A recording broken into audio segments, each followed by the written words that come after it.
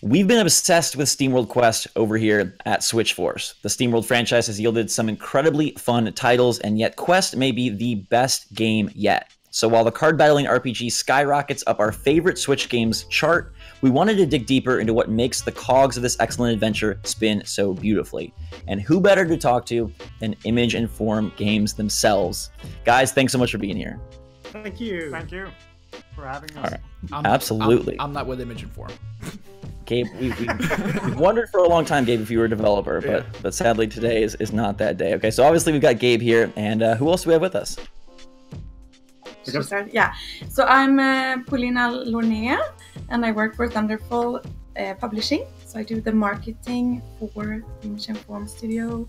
I work with events and influencers. Awesome. Yeah. Hi, my name is Esteban Soto, and I'm uh, was the lead level designer for uh, SteamWorld Quest, and also been a level designer for uh, SteamWorld Dig 2. Cool. And I'm uh, Petter Magnusson. I'm the producer for SteamWorld Quest. Very, very cool. I feel like this is like the, the dream team. This is our, our, our party here. We need to give everyone a deck and, and get ready to go. Um, Wait, Zach, Zach, if if this is a party, well, they're a party because there's three of them. Are you and I the, the boss? Are we the enemies? yeah, we are. Oh, yeah, we, man. we got the question. we're, we're loaded up with all. Yeah. Thank you so much for being here. This is so fantastic. Uh, as I mentioned, you know, we're huge fans of the franchise, and it's it's so cool to uh, not only get to, to play the game, but the fact that it is a Switch specialty. Like that's so awesome uh, for the platform and for us. But let's dig into some of the the nitty gritty, some of the bigger questions that we have after both of us beating the game uh, and both of us loving the game. Um, so you've developed uh, on a number of different Nintendo platforms, and this is the the second new title on Switch. What's it been like this time around? What's it been like developing for the hybrid? And is there anything that's become easier or more streamlined this time around? I can uh, I can start to answer that. I think um, uh, we've uh, so so if we're looking at the like developing for uh, consoles like uh, Switch, which is a hybrid, uh, Mhm. both a uh, um, like something you sit and play in your couch at the television and something handheld. Uh, some of the games that we've made previously have been more from the get-go designed to be a handheld experience. Uh, Right. but I- It's really been uh, quite uh, quite natural uh, for some of our titles to just they they uh, play very well in a handheld mode. Uh, SteamWorld Quest was not made for that specific purpose, but it works pretty well that way, and I think that's a common uh, something that's been common for most of our titles so far. Gotcha. Yeah, absolutely. I can just agree with that. Uh, Speaking of common, uh, handheld isn't, at least for me, for Zach, kind of just based off what I know, we don't play handheld a ton, but I think Zach and I both like almost exclusively played Quest and handheld. We've gone back and, and played Dock just to see what it looks like and, and capture stuff, but something about Quest just really brought out the you know older gamer in me that really loved playing on handheld. So that that, that was like super surprising and cool to me. Yeah, no, it's definitely, it's actually very fun to play in a handheld. I was also surprised in myself. Like, yeah, I'm a little bit biased, but Yeah, we we've done a lot of our testing, uh, sort of using handheld devices because we don't have like TV setups for a bunch of people at the office. So so it's it comes quite natural to to have that as a factor when testing the game. yeah. Awesome. Yeah. And I I'm a huge board and card game fan. Um, and obviously this game has a lot of influences from those realms. What were some of the either board or card or even video game inspirations uh, when you guys were first creating Quest? Oh, wow. Yeah, well, we're- we're a bunch of uh, board game Oh, awesome. well, and Yeah. card games. Uh, I've been playing uh, both Magic the Gathering and uh, I have like an entire room full of board games at home as well. Me too. That's fantastic. it's just a fabulous uh, set of games, a, a good complement to the digital. Um, what can you say? Uh, we were talking about that e- earlier, actually. That uh, Yeah. there there are some like when you play board games and card games, uh, hmm sort of as a as a game developer, you want to sort of dissect them down into pieces, and you you see ideas and and themes, and uh, some of those stuff like were ideas that we thought we could maybe make into a game that maybe could be even better uh, than we played physically. Yeah, I mean, it was like we're like a bunch of geeks in the office, really. so we have like our own uh, board game sections also. So we have like different uh, nights when we're just playing games and stuff.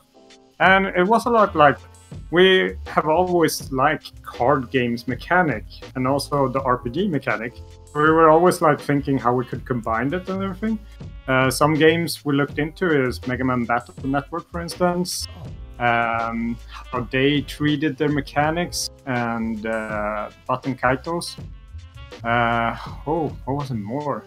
There was also this Fate card game that one of us had played that was like, oh, this is a cool idea. We should actually look into this. And we were like, oh, okay, that's cool. Um, oh man, but been a lot of card games Yeah, yeah, in exactly. the office flying around. So and And I started, and it all started out loud. No, we just started out just prototyping and doing our own card games, for instance, with all those ideas. Yeah. And, and speaking of card games, there's like over a hundred punch cards for players to experiment with. Uh, but the enemies also have cards. Uh, do you like have any idea how many there are in total? Because we don't ever get access to those. And so, what's the total number of like cards that there is when you include everything that the enemy has? I have a feeling that you guys are hiding some of the super cool ones, and that we'll never get access to. Oh wow! Well, there's a bunch of cards. Uh, Yeah, yeah. I, I don't actually know the total number uh, by heart. Uh, like during development, there's a bunch of cards just coming in, and we're pulling some cards out, and uh, it, it's it's been a number that's sort of fluctuating uh, through development. So I don't actually have a, a final answer for that. Did We any of the boss cards were those eventually like player cards and then they just became too powerful and you're like no this is like a boss card now or were you like super specific with which you developed for who Uh, yes. I mean, there's also always that thing that, oh, we made this card. This is fun. We take it into to the game, and then we start playing it and uh, playing around with the card, and then we notice this is too good. We, we can't. It's just breaking the game. So we give it to another enemy. We gave it to the enemy types, for instance, one card. Then let the enemy use it. Then we notice this is no fun getting. Uh, uh, this enemy just overpower you. So we took that card, gave it to the player, and tried it out on the enemy, and then it was like, oh, okay, this is kind of fun actually. so there are a bunch of those cards, yes, actually. That's Like that's awesome. Yeah. Just trying it out. Like we have so many strange cards that uh, we took out of the game because they were just too weird. No, I think that, Card card as a mechanic is quite. It's quite. Uh, uh, it's it's really easy to work with in that way because you can sort of uh, condense a, sort of almost any idea down to to having it as a card, and uh, it makes it very versatile and uh, creative uh, uh, to work with. yeah. And Petter, didn't you tell me too that you had to nerf some of the cards because it wasn't like too? Yeah, yeah, Powerful. Oh, that's, yeah, yeah, that's we've just been doing that for. all the time. Yeah, definitely. Both on the enemy side and the player side. Uh, it's. I mean, it's just difficult to. Uh, to. I'd say uh, one thing I think also about card games like this is that uh, there are a lot of fans specifically for this type of game, and uh, I'd say many of those. I, I'd say myself is one of those type of players, and uh, we tend to have quite high uh, standards that we require from those games in terms of challenge right. also uh, something that's a bit difficult because we we tend to like to create games for everyone that likes the SteamWorld series, and uh, and when we do that and we change genres as we did here uh, again, we we also want to make it accessible to as many people as possible. Uh, so so there's a challenge there to make a card game that is really deep and challenging for for veterans of the genre, but at the same time something that you can jump into if you haven't played card games. yeah. Uh, I know, Paulina, you hadn't played this kind of game before. No, I hadn't. I I have not. I, but as you said, I played like way back when I played Magic the Gathering, like as a card game, and I can only relate to well, yeah, those kind of games way back when. And then um, I, I still told you that I found it um, pretty easy, easy to get into, and I have no reference from JRPGs or, or well, kind of card Mhm. model. Yeah, and it's always always this fun thing with balancing because you want to balance everything, but you don't want it to become like every card is so balanced so it becomes boring in a Yeah, way. yeah. So you want to have some imbalancing mixed in, so it's always like, oh, is this this card is really fun. It's balanced and everything, but then when you're using it, you notice like ah, it's like this punch or Yeah. like this little extra to it. You need some So it's like- contrast in them as well. Yeah, Yeah, that was definitely one of the, the fun things for us was to go back and forth and compare like, okay, what set of eight are you using for this character? Who you know, what cards have you found? What combos have you found that found that worked really well? And um, I think you know, outside of the card balance, the, the game mechanics are balanced super well. I'm not the biggest JRPG fan, so I, I was telling Gabe like, man, this game has all the best parts of RPGs and none of the ones that I hate. So there's like no grinding. Like there's still depth, but it's not like overly complex. The item descriptions aren't like insanely long, and it there, there's no random encounters, but there's still a bunch of fun battles. Like it just all kind of I don't know. I feel like you guys somehow tapped into my brain and, and knew exactly uh, what, what what I would have wanted here. Okay, so speaking of of what what we want, is there any desire to turn this into an actual physical card game? The the art, the combo concepts, everything is so so cool.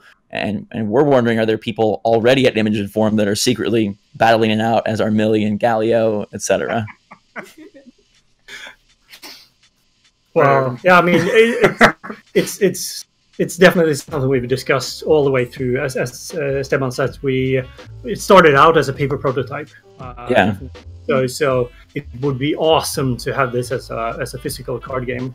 Uh, looking at the actual game that we have right now Mhm. that you've been playing, it's uh, I'd say the only only or the biggest challenge at least would be that that game is is balanced as a player towards uh, uh, scripted enemies or, or specific Sure. enemies. And uh, making that into a game that works uh, player against player is uh, is uh, probably something that needs uh, needs to be worked on in that case. But uh, Yeah. uh, yeah, it would be awesome if we could make something like that. Uh, but um, yeah, I mean, we would also be stoked to have it as a It'd be so cool. It's a collector, so well, if you guys ever Yeah. work on it and you need uh, two people to just like test things out for you, Zach and I, Wow. uh, we- we- We're, we- we're- we're available. yeah. oh, it's that so? But that's how many was there in the team now that did uh, uh, I don't know. Uh, so between fifteen and twenty people, I think. Yeah. Yeah, around there. so maybe Okay. there's only so many of you to make the card game as well. Yeah. And we touched on just like how the, the blended mechanics is, is so great, but were there any, you know, mechanics that maybe stand out that were left on the cutting room floor or, or a cool idea that wasn't able to make it into the game that you wish did? Oh wow. Okay. Yeah. It's always like that because I mean, if when you're so in deep in your game, you always want to have more. mm-hmm. So you want to have uh, more questing, more uh, chapters, more of everything, more cards. So it was always like things we noticed like, oh, we don't have time to finish this up and polish it up, so we have to just drop it. hmm We don't know. We we probably we have a stash of ideas. I mean, I'd say that that's just part of good design. Yeah. You, if, if you actually manage to implement everything that you can come up with, you're probably not making a good game. Uh, you, you have to cut cut out everything Kill that's not darlings. Yeah. exactly. You have to cut out everything that's not entirely necessary for that game. But that can mean that it's just we haven't had time to polish it to to get to the level that it's actually should be a part of the game. Yeah. Uh, so and there are definitely aspects of the game world and the mechanics that we think are much deeper than we managed to explore uh, here. Mhm. So, Yeah, so right. there's definitely material for for more. Absolutely. Um, like we were talking sometimes about combining cards so they became another card. yeah, Mm. yeah, there's just so many ways to, to combine and make combos of cards that Yeah. uh, uh, a lot of games are doing. So, uh, and I think we could probably find even more of those uh, to make it more interesting. But I think I think we ended up in a really good space. Yeah. There's Yeah, for- to see another card game that had this mechanic and everybody just comes back to the office like, oh, did you see this? Yeah. And then everybody starts talking about, wow, that's actually a pretty cool thing. and wondering how we could implement it into our game, perhaps. And, oh, well, yeah. Yeah, for sure. I think that with what you have, players are going to be impressed as they unravel the game. I know we were in terms of you know, we, we would get on calls and be like, it's got to be like a, th- a three act game, right? It, has got to be, you know, just these characters. It's got to be just, you know, just this. And it's like, oh, a- another new mechanic or another new chapter or another new character. And it was really exciting to have it just keep kind of surprising us around so many different corners. Awesome, awesome. Yeah, uh, I, I, feel, did our job. I feel like they faked us out intentionally with, with uh, the end of cha- uh, Act Three. Um, but regardless, you know, speaking of all these chapters, right? Uh, the challenge ramps up sometimes, and you know, for players who maybe aren't as familiar with card games or deck building things like that, do you guys have any tips? Just because you guys are also an RPG on top of a card game, so what would you guys say for someone that loves RPGs but cards aren't really a thing? Do you have any like secret tips for them to have an easier time when the difficulty does get a little bit trickier? Yeah, sure. Um, so, I mean, just from the absolute basics, uh, the, sort of the, the, the core of, of these types of card mechanics is just to try out things. Uh, uh, just like learn by failure, try try things and see if it works. If it doesn't, uh, we uh, put a lot of work into making the game in such a way that if you fail an encounter, if you if you don't don't doesn't don't manage to uh, get by a, uh, challenge on the first try, it, that's not the end of the world. We want you to try out things. We want you to do that so that you can see like different combinations of cards, what works together, what doesn't work together. Uh, you, you're not supposed to select everything correctly the first time. Um, I mean, we, we don't ourselves. Uh, we spent a lot of hours into this game. Uh, so that that's probably, I think, the most basic part of it. Mhm. Uh, if, if you go up maybe a level on top of that, uh, there are some mechanics in the game that uh, that you really need to work with. Like uh, you can actually look at the enemies and see what weaknesses and strengths they have, and try to play into those. So, so parts of the game, maybe some cards are very powerful, but in other parts of the game, you sort of have to switch it up because the enemies have changed and they have other strengths and Yeah. weaknesses. That's also also something. Uh, and we also have uh, this mechanic with uh, consumables in the game as well. Uh, Yeah. That you really Yeah. Need to, to work Yeah. at least in higher uh, to to really go through. and using the comp. Exactly. Oh yeah, using Yeah. the combos, making Like the- chains. Exactly. Like combinations of cards, both in your deck and how you actually play them. That's definitely key. Yeah, and I mean, if you're the if you're gaining so much SP, if you're always like your SP meter is so much full, just add some cards that uh, drain the SP, or add one card that takes all of the SP and drains it and does a powerful attack, for instance, or Yeah. something. Awesome. With the consumables, just kind of a side question here. I always try to get through all the battles without using any of them. Yeah. Um, did, did you did you view the consumables as something that that is baked into to regular gameplay, or as more of a, a helping hand for, for players that are, are not having as much success? well, I mean, it's, it's, uh, It's a yes or no, I would yeah, say. yeah. It depends very much on what Yeah. uh, what level you're playing at. I'd say Mhm. if you're playing on the uh, on, so so the game comes with three difficulty levels: uh, Squire, uh, Knight, and Legendary. And uh, it's if, if say even if you are a veteran player and you're playing on the legendary difficulty, you're absolutely going to have to use the consumables to, to go Yeah. and uh, at the same time, if if you're maybe uh, not as uh, not as used to this kind of game and you're playing at a lower difficulty, they're definitely there to to help you out as well. To to since since they are very flexible, uh, you're you're not limited to the cards you actually draw in your hand, so you don't have to. Uh, survive until you get maybe Mhm. one of Galleo's uh, healing cards. You always have them available, and that's Yeah. sort of a safety net that I think is, is crucial to to make the game uh, approachable and uh, and easy to get into. Another thing also that it opened up because we wanted also so uh, you didn't need to have a dedicated healer in your party, Yeah. for instance, or something like that. So with the consumables, we can balance it up so you can have a full-on fighting crew only Yeah, mm-hmm. that has no healing option because you can just use the consumables instead. yeah. I mean, we, we want the player to to feel that they have the power to try out things, as I just Yeah. said, and and this is a way to sort of strengthen that even more. Very cool. Okay, this is the question that I'm, I'm most excited for, and I- I'm sure you guys can't say a lot, but it was stated that if there's enough fan interest, DLC is a possibility. Um, which we're, if, if we count for anything, we're very interested in, in the potential for DLC. Um, but do you do you see that as an extension of the campaign, or maybe a side campaign, perhaps same characters, or, or new faces? Well, uh, we here in Image of Inform, we don't we don't start doing or producing a DLC content before we have the game out.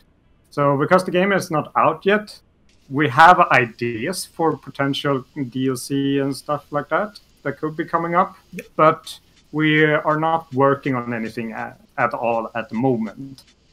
We we want to see how people react on this game, and I mean, if people react like you guys, then I'm guessing there's a very high potential that the DLC will come, will be dropping by.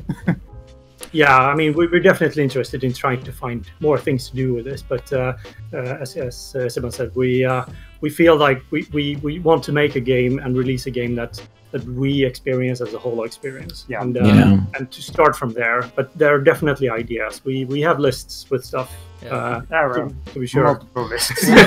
this is probably already on your list, but Zach and I are very curious uh, what happens with Captain Canary. He kind of gets a short end of the stick. I want to see what happens, man.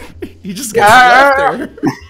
Uh, well, I, I think he put himself in that position. Um, I'm also going to make a pitch while I have you guys here for the merchant. I think that they'd have a fantastic deck. They got so much at their disposal. They could have a very diverse uh, set of set of punch cards there. Um, yeah, yeah, that's true. That's actually not a good. not a idea. Um, all right, I, I think SteamWorld as a whole is gaining a, a real foothold amongst Nintendo fans. You know, it's, when we see that that that name pop up, you know, in one of the, the, the directs, it's like, oh, we got to really pay attention to what's what's coming out. Um, it's it's become one of the more important franchises on on the Switch. Um, and I'm sure you guys saw what Brace Yourself Games is doing with Cadence of Hyrule and how they kind of came out with a surprise Nintendo partnership. Did that announcement give you any inspiration for a potential Nintendo crossover and any ideas of, of what world maybe SteamWorld could mash up with? Do you want to? Yeah, well, oh well. So I, I mean, we're definitely. I think as most of the community, uh, it's just uh, amazing to see that kind of game uh, and the the opportunity that they got and uh, like the ideas just spawn out of nowhere. You just start to think of everything uh, that maybe might be possible and. Uh, yeah, I, I'm not sure if we have any specific ideas for what that would be. I mean, uh, like uh, Brjánn, uh, our CEO, he always talks about ideas like making Metroid games, inspirations lot that of we people. had previously. But uh, Yeah. well, you never know uh, if an opportunity arises. A lot of us like Snap in the office, me included.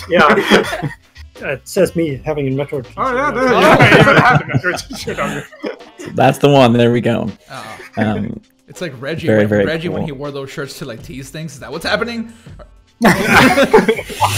Yeah, no comments. Ah, yeah, well, Um, so, so five titles in now. Uh, the the games seem to continue to get bigger in terms of scope, length, variety, even price. This one, you know, being being a little bit higher.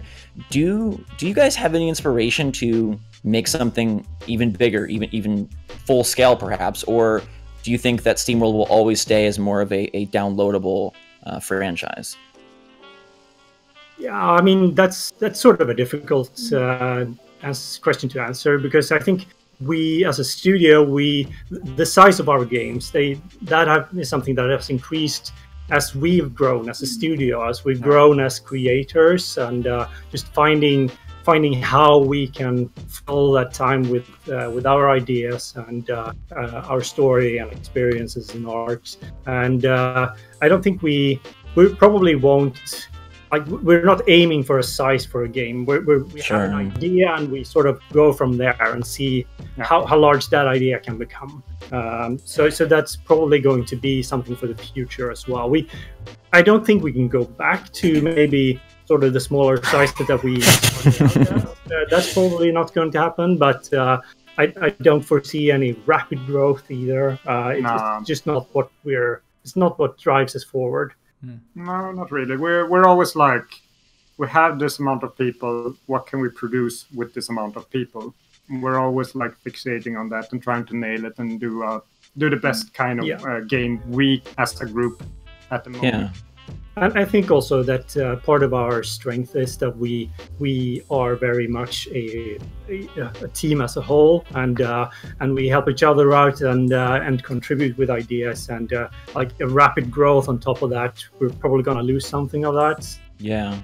Uh, I think that's part of our success story. So uh, it's it's pretty far off uh, if that, something like that would happen. I think. No. Yeah, because anyone in the group can actually come up to us and just start talking about, oh, I have this idea. Oh, Yeah. we can look into it and see how that would work out. Our projects are very collaborative. Yeah, I, I, I, I really, okay, I really, I really respect that. I think like it, the passion and the vision comes through, and and I, I've coached uh, high school basketball for years now, and I was, I was telling Gabe, you know, we were talking about image and form, like it, it almost seems like you guys are kind of like a, like a sports team, like just like the right size where everyone probably knows everybody, and you all kind of work together and bring your own skills to the table, and it's just, it seems like such a cool environment uh, to be part of. Um, one thing I'm, I'm really interested in is with with the five games now um, including SteamWorld Tower Defense that some newer players may not even know about. Uh, where would you recommend a, a new, say, Switch owner? Where, where would do you envision them starting within the SteamWorld franchise? I mean, it's kind of like, what are you into in a way? Mhm. because we have some multiple genres, dabbling in all different kinds of genres. So a little bit like, oh, do you like exploring and stuff like that? Then jump into Dig, for instance. Oh, do you like like a having a ragtag team that you uh, go on some uh, missions and just want to have like a uh, what would you say? Like sit down for 30 minutes or 20 minutes and then just be done with it and then just continue on next day or something like that. Then heist really good for that for instance. So i think it's actually more what do you want to play in a way. Because we're we always want to like dabble in so many genres so we are not really like so constricted in like Yeah, one particular game in that way So if you're starting from scratch, you pick whatever looks the most fancy for you. Uh, Yeah.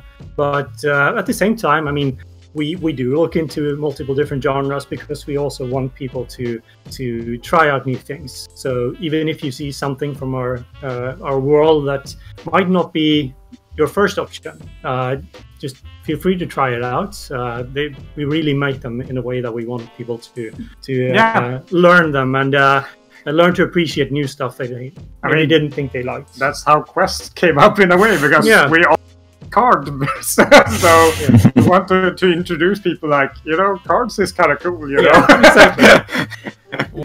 I think that's really cool with uh just like sorry Gabe the, the the different genres like you can bounce around. You know so often with the franchise you have to go in this progression but if you got Quest first and then you find out like oh SteamWorld Heist is a thing because it's a different genre it, it will feel like a totally new fresh exciting experience which is really cool.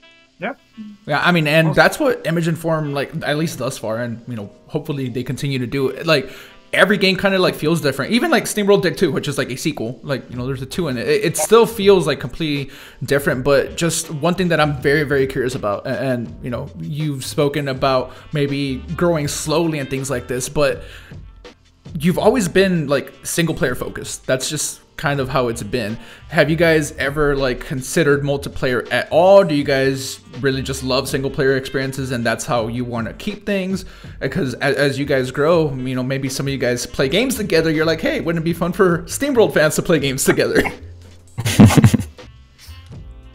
well i mean most definitely we have looked into doing multiplayer games but we are more of a like if the game suits it then we do it we don't like start out with uh, creating like dig 2 and then thought oh multiplayer we just slap it in because we just wanted to work with multiplayer or something like that. It's mostly like does this work for multiplayer at all? Do we have the time to make this a good experience in single player and multiplayer at the same time then so it's always like that for us when we're creating games so if we would do a multiplayer game, it's when we feel like, oh, this is the core. This is actually what it is all about. This game, you need to have it in multiplayer.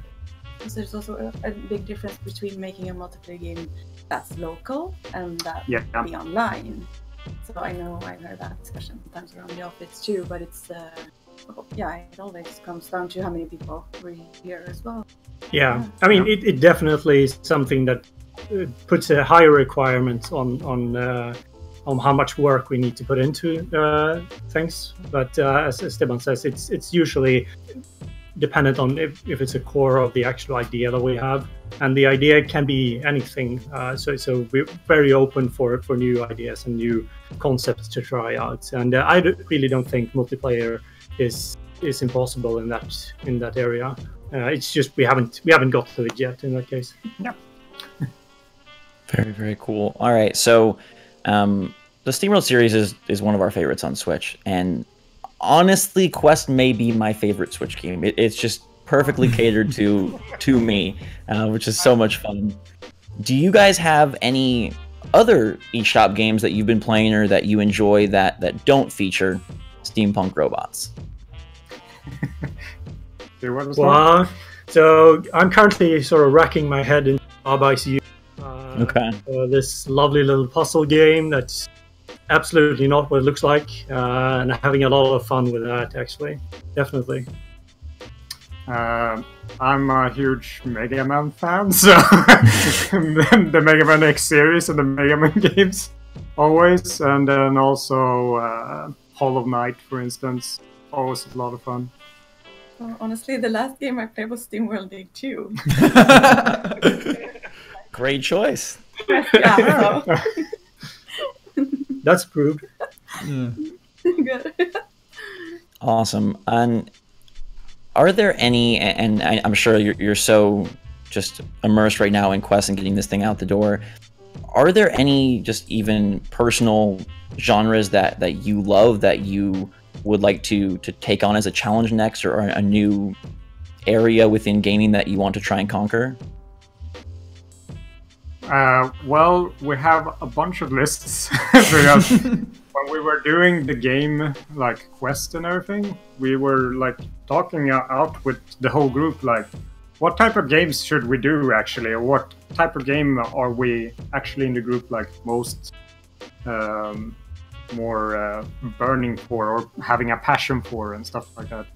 Because I mean, any genre goes for us. It's like Mhm. do we can drop a dating simulator game and something like that. It's like if it's fun and everybody is just presented with, uh, with like, oh, okay, this game would be actually a fun concept in the SteamWorld universe, and it's a dating game, strategy game, or whatever. I'm pushing the dating game. It looks like it's Zach, Zach, they are heavily hinting that a dating game is coming. yeah. SteamWorld dating. All right. Yeah, no, no exactly. I mean, it, it's it's more of a if it's something that the uh, entire team can go behind and uh, and uh, just just put our love and passion into it, it absolutely could be anything. And uh, and we're, we're pulling inspiration from everywhere, uh, Yeah. from from from our fans, uh, from friends, from family, from ourselves, what we're playing. Uh, so so it's just there's so much to pick from. Uh, A lot of inspiration in dating. Yeah. A lot.